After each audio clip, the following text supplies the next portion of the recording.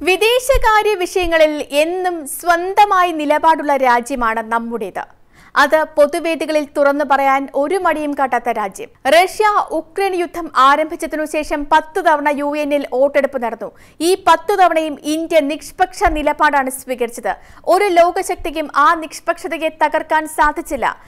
കശ്മീർ വിഷയത്തിലും ലഡാക്കിലെ ചൈനീസ് പ്രകോപനങ്ങളിലുമൊക്കെ ഇന്ത്യയുടെ നിലപാട് വളരെ ഉറച്ചതാണ് ദൃഢമാണ്. മാറുന്ന ലോകക്രമത്തിൽ സ്വതന്ത്ര ശക്തിയായി നിലകൊള്ളാൻ ഇന്ത്യയ്ക്ക് കഴിയുമോ എന്ന ചോദ്യം തന്നെയാണ് ഉയർന്നു വരുന്നത്. ശക്തമായ ചൈന റഷ്യ ബന്ധവും റഷ്യക്കെതിരെ നിലപാട് സ്വീകരിക്കണമെന്നുള്ള അമേരിക്കൻ സമ്മർദ്ദവും ഇന്ത്യയുടെ വിദേശ നയങ്ങളിൽ കാതലായ മാറ്റങ്ങൾ വരാൻ പോലും ഇടയാക്കും. അമേരിക്കയെ മാത്രമല്ല വിദേശകാര്യ വിഷയങ്ങളിൽ തൽപരരായ എല്ലാവരെയും ഞെട്ടിക്കുന്ന പ്രസ്താവനയാണ് കഴിഞ്ഞ ദിവസം അമേരിക്കയുമായി നടന്ന ഉന്നതതല യോഗത്തിനു ശേഷം വിദേശകാര്യമന്ത്രി എസ് ജയശങ്കർ നടത്തിയത്. അമേരിക്ക ഉന്നയിച്ച വിമർശനങ്ങളോട് അനുനയത്തിലുള്ള ഒരുക്കൻ മറുപടിയല്ലായിരുന്നു അത്. അതിരൂക്ഷമായ കടന്നാക്രമണം തന്നെയാണ് എസ് ജയശങ്കർ നടത്തിയത്. പറഞ്ഞത് സ്വതന്ത്ര നിലപാടാണെന്ന് കരുതാമെങ്കിലും പ്രധാനമന്ത്രി നരേന്ദ്രമോദിയുടെ മനസ്സറിഞ്ഞു തന്നെയാകുമെന്ന വിലയിരുത്തലുകളുണ്ട്. ഈ നിലപാടുകൾ റഷ്യ ഉക്രൈൻ യുദ്ധത്തിന്റെ ഭാവിയെ ആശ്രയിച്ചു തന്നെയാണ്. ഇതുവരെ ഉക്രൈൻ പിടിച്ചു നിന്നുവെങ്കിലും നിലവിൽ പ്രധാന തുറമുഖ നഗരമായ മരിയുപോൾ കീഴടങ്ങിക്കഴിഞ്ഞു. പ്രതിരോധത്തിലായ റഷ്യ മുന്നേറ്റത്തിന്റെ ലക്ഷണങ്ങൾ കാണിക്കുകയും ചെയ്യുന്നു. വിദേശകാര്യമന്ത്രി എസ് ജയശങ്കറിന്റെ മറുപടികൾ വൈറലായി. അത് കയ്യടി നേടിയെങ്കിലും ഇതിന്റെ അനന്തരഫലങ്ങൾ നമ്മൾ കാത്തിരുന്നു തന്നെ അറിയണം. ഇന്ത്യയുടെ സ്വതന്ത്ര നിലപാടുകളുടെ പ്രഖ്യാപനത്തിന് ഇത്ര കടുപ്പമുണ്ടാകുമെന്ന് അമേരിക്ക ഒരിക്കലും കരുതി കാണില്ല. സങ്കീർണമാകുന്ന വിദേശകാര്യ ബന്ധങ്ങളിൽ ആരോടൊക്കെ സഖ്യമാകാമെന്ന കാര്യത്തിലും ആരെയൊക്കെ വിശ്വസിക്കാമെന്ന കാര്യത്തിലും പുനർവിചിന്തനം നടത്തേണ്ടി വരും. ജയശങ്കർ പറഞ്ഞത് മോദിയുടെ മനസ്സറിഞ്ഞു തന്നെ ആകാമെങ്കിലും ഈ നിലപാട് എത്രനാൾ തുടരാനാകുമെന്ന കാര്യത്തിൽ ഉറപ്പില്ല. വിദേശകാര്യമന്ത്രി എസ് ജയശങ്കർ പറഞ്ഞ ശക്തമായ മറുപടികൾ നമുക്ക് കേൾക്കാം. I think I probably answer for both of us. Uh, so, uh, first of all, uh, thank you for the advice and suggestions in your question. Uh, I prefer to do it my way and articulate it my way.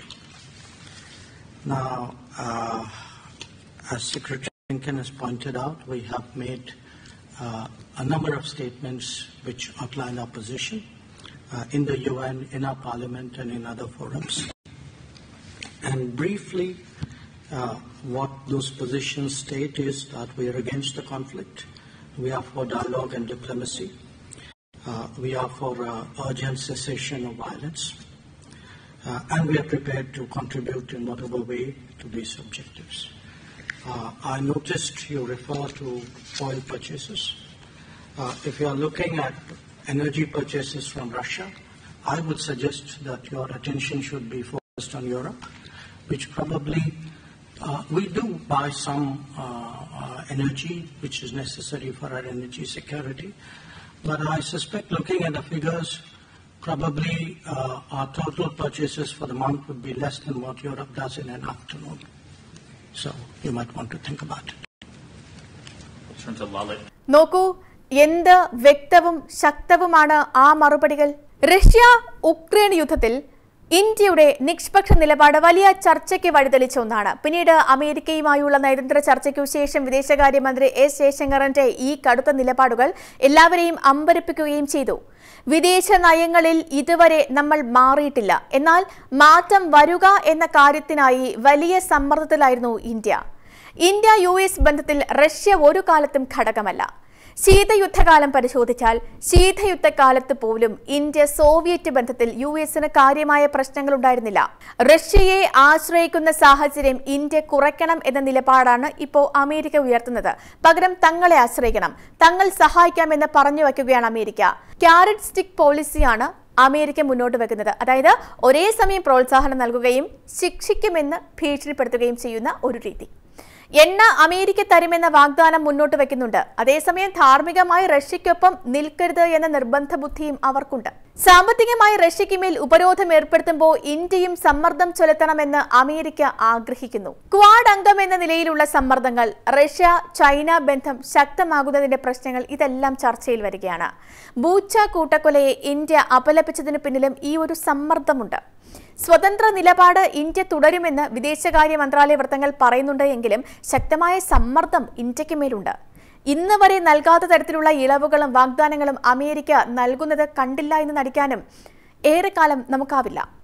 യുദ്ധം തുടരുകയും Russian president Vladimir Putin കൂടുതൽ ദുർബലനാവുകയും ചെയ്താൽ മുങ്ങുന്ന ആ കപ്പലിനെ ഇന്ത്യക്കും കൈവിടേണ്ടി വരും. പ്രതിസന്ധിയിലായാൽ റഷ്യയെ ആശ്രയിക്കാനാകില്ല എന്ന യാഥാർത്ഥ്യം ഇന്ത്യ ഇപ്പോൾ തിരിച്ചറിയുന്നുണ്ട്. അമേരിക്ക കൃത്യമായി സമ്മർദ്ദം ചെലുത്തുന്നുമുണ്ട്. ജയശങ്കർ വളരെ സമർത്ഥനായ ഒരു നേതാവാണ്. പക്ഷേ അമേരിക്കയുടെ സമ്മർദ്ദത്തെ എങ്ങനെ നേരിടുമെന്ന് കണ്ടുതന്നെ അറിയണം. പ്രധാനമന്ത്രി നേരിട്ട് കൂടുതൽ പ്രതികരണങ്ങൾ നടത്തിയിട്ടില്ല. അമേരിക്കയെ നേരിട്ട് എതിർക്കുന്നില്ല എന്ന തോന്നൽ ഉണ്ടാകാതിരിക്കാനുള്ള നീക്കം എന്ന് വേണം ഇതിനെ വിലയിരുത്താൻ. എന്നാൽ റഷ്യയെ ഇന്ത്യ തുറന്നെതിർക്കണമെന്ന് അമേരിക്ക ആഗ്രഹിക്കുന്നുണ്ട്. ഇന്ത്യയ്ക്ക് മുന്നിൽ നിയന്ത്രണങ്ങളോ അല്ലെങ്കിൽ ഭീഷണിയോ ഒന്നും ഉന്നയിക്കുകയല്ല. ഇന്ത്യയുടെ നിലപാട് ശരിയുടെ ഭാഗത്തായിരിക്കണം എന്ന ആഗ്രഹം മാത്രമാണ് പ്രകടിപ്പിച്ചതെന്നാണ് അമേരിക്കയുടെ വിശദീകരണം. ചൈനയുമായി ഒരു പ്രശ്നമുണ്ടായാൽ റഷ്യ പിന്തുണയ്ക്കുമെന്ന് ഇന്ത്യ കരുതുന്നില്ല. എന്നാൽ പരോക്ഷമായെങ്കിലും അമേരിക്ക പിന്തുണച്ചേക്കാം. ഡൊണാൾഡ് ട്രംപിന്റെ കാലത്ത് ലഡാക്ക് പ്രശ്നത്തിൽ ഇന്ത്യയ്ക്ക് അമേരിക്കയുടെ പിന്തുണ കിട്ടിയിരുന്നു. ജോ ബൈഡൻ തന്റെ ശക്തി തിരിച്ചുപിടിക്കാനുള്ള ശ്രമങ്ങൾ നടത്തുന്നുണ്ട്. ട്രംപിന്റെ കാലത്ത് തകർന്ന യൂറോപ്യൻ രാജ്യങ്ങൾ ഇപ്പോൾ ബൈഡനോട് അടുക്കുകയാണ്. ലോക രാഷ്ട്രീയത്തിൽ നാടകീയ മാറ്റങ്ങൾക്ക് സാധ്യതയില്ല. സൂചനകളെ സൂക്ഷ്മമായി വിലയിരുത്തി വേണം ഇനി ഓരോ ചുവടും മുന്നോട്ട് വയ്ക്കാൻ രാഷ്ട്രീയത്തിലും കാര്യങ്ങൾ പ്രവചിക്കാൻ സാധ്യമല്ല. ജയശങ്കർ തുടരാൻ തന്നെയാണ് സാധ്യത. പക്ഷേ ഏതെങ്കിലും ഒരു സാഹചര്യത്തിൽ പ്രധാനമന്ത്രി നരേന്ദ്രമോദി കടുത്ത തീരുമാനങ്ങൾ എടുത്താൽ അതിൽ അത്ഭുതപ്പെടേണ്ടതുമില്ല. ഞാൻ സേതുലക്ഷ്മി. കൂടുതൽ വാർത്തകൾ അറിയാൻ Kerala Kaumudi news YouTube channel subscribe ചെയ്യും.